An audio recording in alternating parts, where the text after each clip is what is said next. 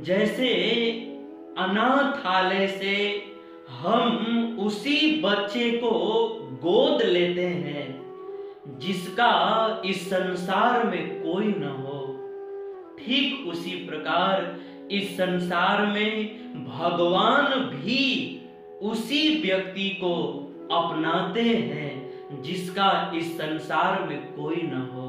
अर्थात जिस व्यक्ति ने भीतर से सबका त्याग कर दिया है।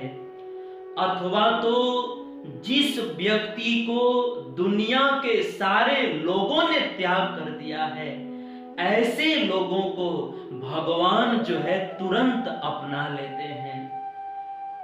जैसे कि रामायण में एक बहुत करुण प्रसंग है कि जब माता के कई ने दशरथ जी से दो वरदान मांगे। उस समय उस वरदान का बहुत भयंकर दुष्परिणाम हुआ। सबसे पहले तो चौदह वर्ष के लिए भगवान श्री रामचंद्र जी को, लखन जी को, माता सीता जी को वन में जाना पड़ा। उसके बाद दशरथ जी की मृत्यु हो गई।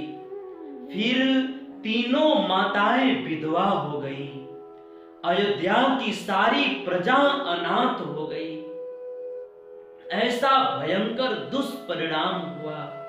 अतः अयोध्या के सारे लोग जो है, केकई से घृणा करने लगे, उसकी निंदा करने लगे और यहाँ तक कि उनके अपने ही पुत्र भरत ने माता केकई को माँ कहना छोड़ दिया।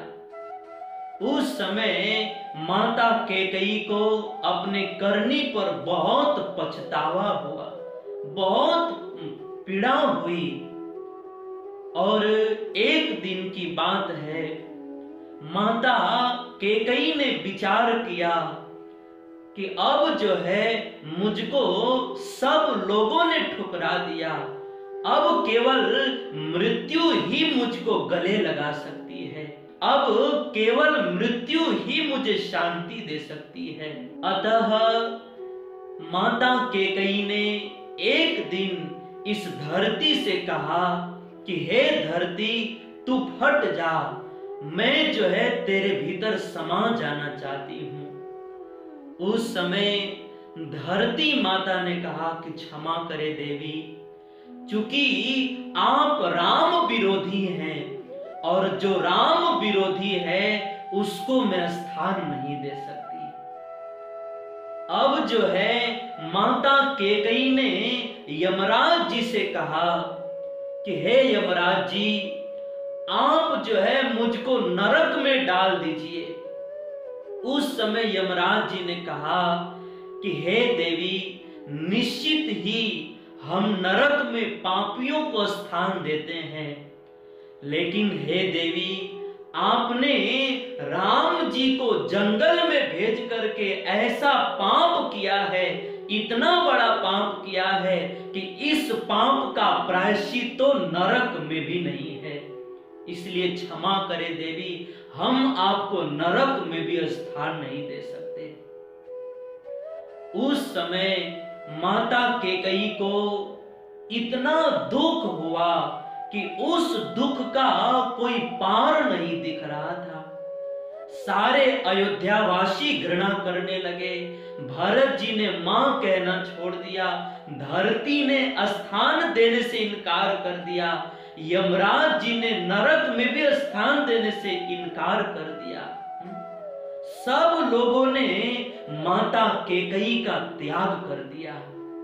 लेकिन हमारे संत लोग कहते हैं कि जब सभी लोगों से तिरस्कृत, वही माता केकई जब चित्रकूट में भगवान राम के पास गई, उस समय भगवान राम ने आगे बढ़ करके सबसे पहले माता केकई को प्रणाम किया।